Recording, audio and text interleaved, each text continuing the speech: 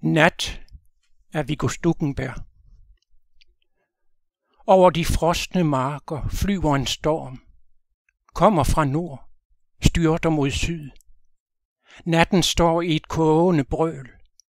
Mørket som sov er vågnet og bruser afsted over jorden. Et ustandsligt vældende spøgelsehav, der skjuler alt i sit sorte dyb. Kvælende slår det mod brystet, styrter sig ned i din strube, vimner forbi dig med blindfødt huden, råber imod dig. Det døde for male, piber fra strå, truer fra trætop. En åben låge plaprer og plaprer.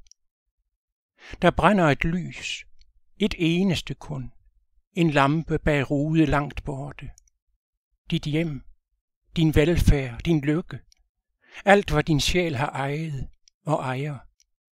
På bunden af spøgelsehavet, et stykke spøgelserav. Jeg har altid elsket natten.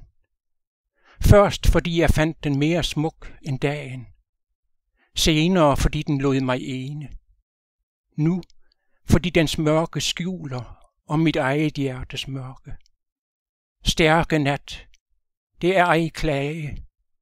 Gråd er blevet mig så fremmed. Bitter er jeg ikke længere. I dit dyb jeg står og tænker, og velsigner tyst din tavshed.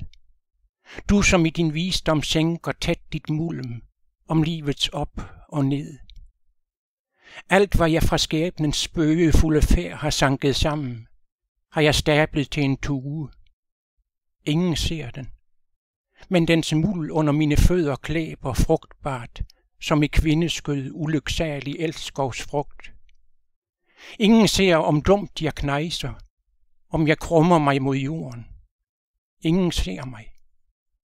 Men i dybet af dit mørke, stærke nat, min færd jeg sænker. Og jeg ved, hvad jeg har mistet, og hvad tabene mig gav. Alle I, som lever i dagens velsignede sol, ved I, hvad natten er for et uhyre rige? Ved I, hvad mørket er for et endeløst hav?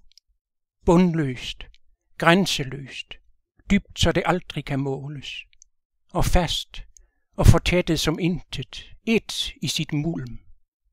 Ingen løfter og ingen lokken. Intet, der glimmer sig vej til dit hjerte.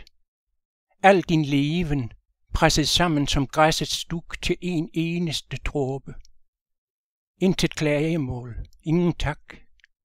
Hvad dig ramte af godt og ondt, samles på bunden af natten, som vildfarne vande i jordens dyb. Og der stryger over dit sind et pust fra en kilde, der stille pipler sig vej ved din fod og stanser din gang. Og du står stum. Du, som var vant til at juble, når lykken dig fyldte.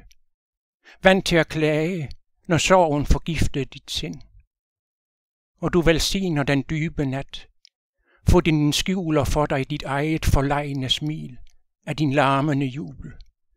Skjuler din skam over, at nogensinde du klagede. Ind mod dit hjerte vælger alt liv som en svulmende bølge, fyldt med jammer og glæde som salt i dens dyb.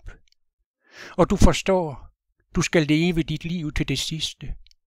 Oprejst, stille, i lykke og sorg tale de sagteste ord, men leve. Stiger din skæbne ind i dens evigt tågede, evindeligt dunkle blik. Der ser du derinde en ensom nat, en magt, en vilje. En magt, der går som en morgen hen over havets tangfiltrede bund. En vilje, der vågner som sol i de højeste himle og rammer din skælvende hånd, så stille den knyttes.